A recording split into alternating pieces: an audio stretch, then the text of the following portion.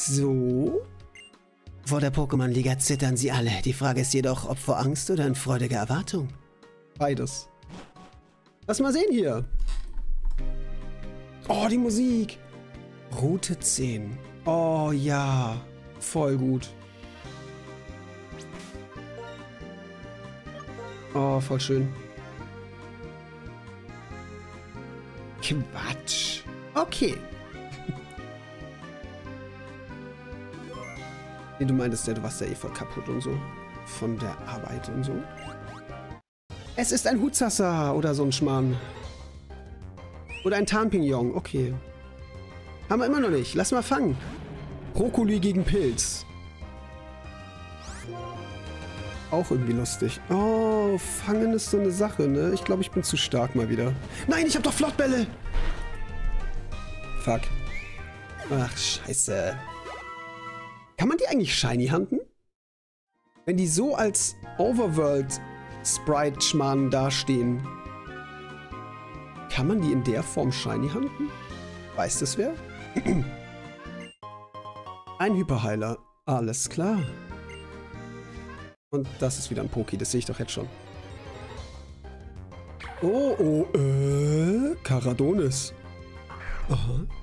So lustig, wie das einfach aussieht wie so ein, wie so ein Karate-Kämpfer oder so. Das ist so funny. Okay, Bälle. Ich hab doch hier Flottbälle. Los geht's. Oh, das war ein Sonderwurf. Habt ihr das Geräusch gerade gehört? Das heißt, es wird instant gefangen. Ah, oder auch. Wow! Wow! Oh mein Gott, ich glaube, ich hatte gerade eine super seltene Wahrscheinlichkeit, dass es ausbricht. Willst du mich verarschen? Es war der Superwurf, wo es eigentlich instant gefangen wird. Und es ist ausgebrochen. Und das auch noch in den Flottball.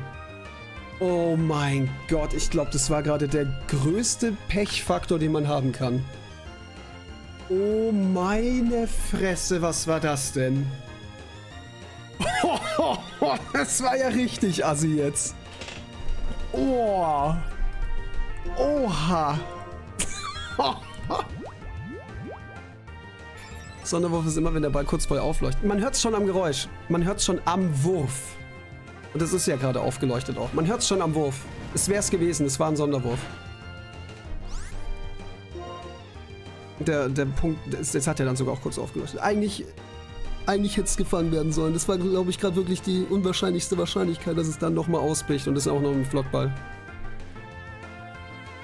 Das war krass. Weil so ist der normale Wurfsound. Ich hätte nicht erwartet, dass es überlebt. Oh, das war scheiße. Das war jetzt so scheiße.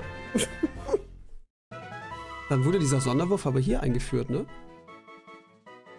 Karate-Pokémon. Am Fuß vom Bergen, wo Karadonis trainiert, ertönt das Echo von Fäusten, die gegen Felsen und Bäume schlagen. Cool. Das ist wirklich ein Karate-Poki, ist so lustig. Ich weiß, aber man, das heißt glaube ich nicht Sonderwurf, nein. Das heißt irgendwie anders, es hat einen Namen. Ach, scheiße. Langer Wurf? Einfach langer Wurf? Nein, das heißt nicht. Nee. Wie hieß denn das? Scheiße. Keiner weiß es. Auf jeden Fall war das von einer, das weiß ich. Das, das ist so ganz safe.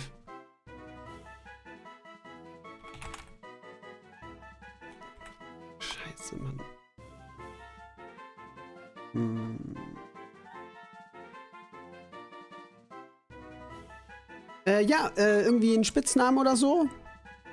Ach so, genau, hier, Lucky hat diese Plätze ge geschrieben. Es sind ja das fünf beste Fit und drin habe ich vergessen, Platz 2 ist Wer? Was? Ey, Turo, wer soll das denn sein? Als Violet Prophet. Was? Ach, das ist wieder Englisch. Ach, kam es in Purpur, oder? Ach, die AI. Ach so, meine Fresse. Platz 1 anscheinend mit Abstand. AI. Sada Skull Professor. Mann, schreib's doch auf Deutsch. Okay, krass, wirklich. Platz 1, die AI aus Karmesin und Purpur, das ist ja, also quasi aus äh, äh, Karmesin. Krass. Das ist ja faszinierend. Ja, echt so. Immer wenn die Gegner den Molga einsetzen, kann ich nicht anders als zu eben Molga zu sagen.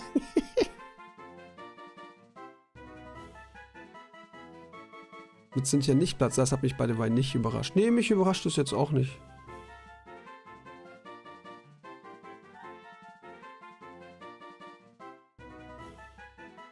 Gut. Scheinbar kein Spitzname.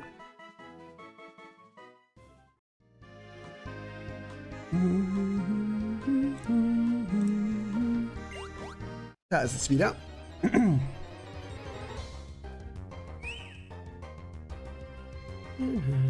Versuchen wir es jetzt nochmal mit einem Flockball.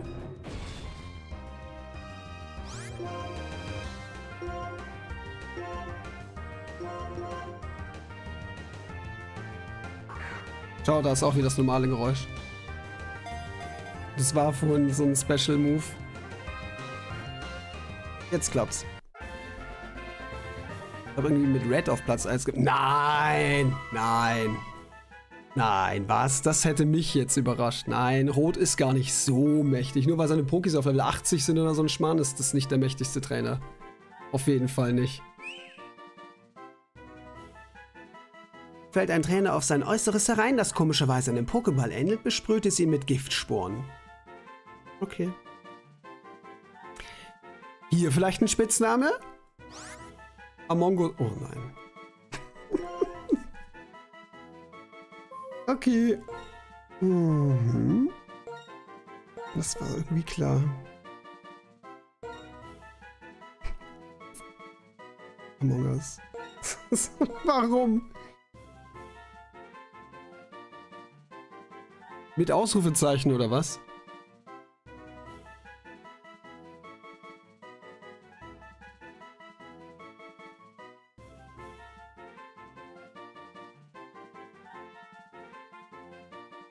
Mit, mit.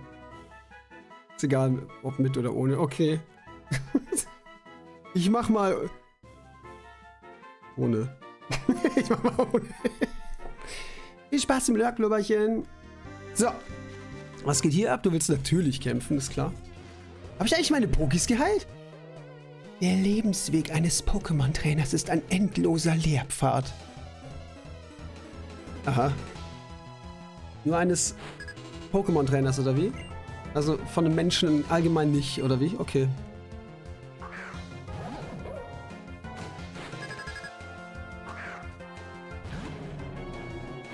Bekiffter Irokese. Jo, weiß nicht, Dampfwalz oder so. Oh Gott, Turmke. Oh, oh, das wird Zwiebeln. Oh, ich habe überlebt. What the fuck? Das sieht ja super lustig aus. Hey, Moment mal. Die Dampfwalze sah gerade anders aus. Hä? Okay. Hä? Hm. Hm? Okay. Stärke. Nicht schon wieder Turmkick, Mann. Schwuppdiwupp. Linfu, Pokémon wechseln. Mein Akku ist fast leer. Naja, aber wir haben ja auch schon wieder hier zwei Stündchen auf dem Tacho, bald 18 Uhr. Geht nicht mehr so lang heute. Weil wir haben ja sogar noch zwei Tage Pokémon Schwarz. Direkt morgen und am Donnerstag nochmal. Und ich wollte es sogar eigentlich auch die Woche durchspielen. Dementsprechend wollte ich mir auch natürlich noch die Tage nutzen, um meine Pokémon nochmal so richtig ordentlich auf irgendwas hochzuhieven. 60, 70, 80, irgend so ein Scheiß. Für die Liga dann. Und wir ganz geschmeidig durchkommen dann.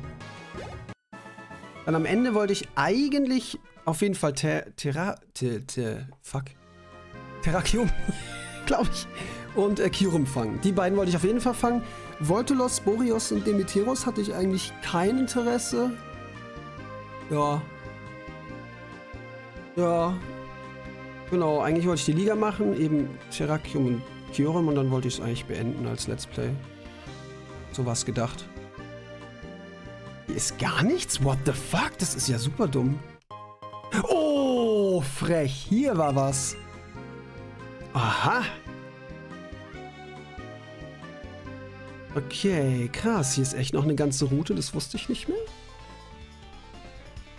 Ich musste mich mit meinen Pokémon schon in vielen erbitterten Kämpfen bewähren. Dass ich verliere, ist einfach undenkbar.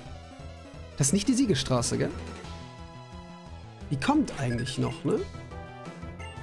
Hier war die sowieso ganz anders als jemals. Ich glaube, Route 10 ist beinahe schon eine. In der Siegesstraße selbst war, glaube ich... Ich glaube, da war gar nichts los. Es war keine, keine Labyrinthöhle mehr, ne? Boah, es ist so lange her. Ich glaube, es war irgendwie so ganz komisch linear. Man war ganz schnell durch und bei der Liga dann. Es war so ganz komisch irgendwie. Hm. Oh oh. Okay, okay.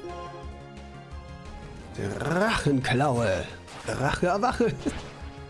American Dragon. Das war irgendwie eine coole Serie, weiß nicht. Zapplerleck. Ja, Zappler leckt mich doch am Zückli. Das ist ein Elektro-Pokémon. Oh, scheiße, mein Brokkoli ist kaputt. das klingt so lustig. Ja, dann Serapendra, oder? Das haben wir hier eine Weile nicht mehr gesehen. Hau mal raus, die Geschichte hier. Ach, stimmt, das war's aber sowieso grundsätzlich noch nicht. Da kommt ja noch ein großes Story-Detail-Gedöns, ne? Da passiert ja eigentlich noch was Großes. Hm. Da war ja noch was.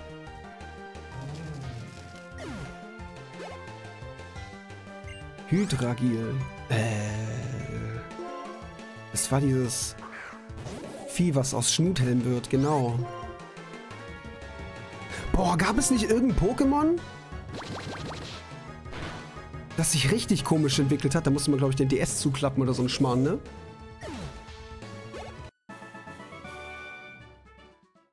Irgendwas komisches gab's hier. Okay. Aber es ist hier voll die schöne Route eigentlich. Schaut euch das mal an. DS umdrehen. Ach, so rum. Stimmt. Ah, Iskala. Ah, ja. Äh, voll verrückt auch. Bin der beste Trainer dieser Gegend. Kannst du das mit mir aufnehmen? Voll verrückt. Den DS auf den Kopf, ne? Wie erkennt es das eigentlich? Das ist so verrückt. Ja, ja. Oh, Machakamba.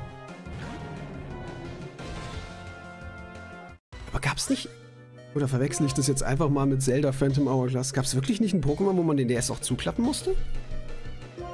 Hm.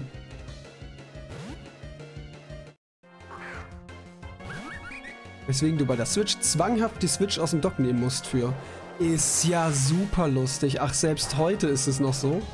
Da musst du die Switch umdrehen, ist ja mega geil. Voll gut.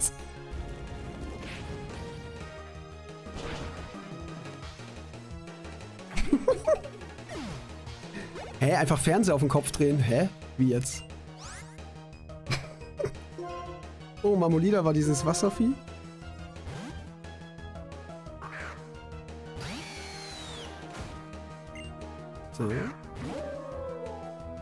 Wo ich immer noch nicht verstehe, warum es nicht die Weiterentwicklung von Libiskus ist, aber es hatten wir schon mal das Thema.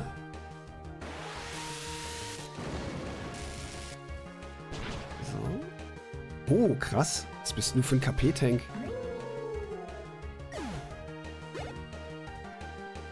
Frigometri, das ist hier wieder ein Eispoki. Da kommt nochmal Victini raus.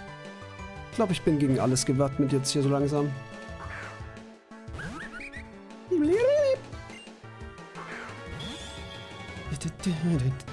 Gerade Victini hat jetzt auch sehr mächtige Attacken. Insgesamt so. Außer Nitro-Ladung, das ist recht seicht, aber es erhöht meine Initiative von dem her.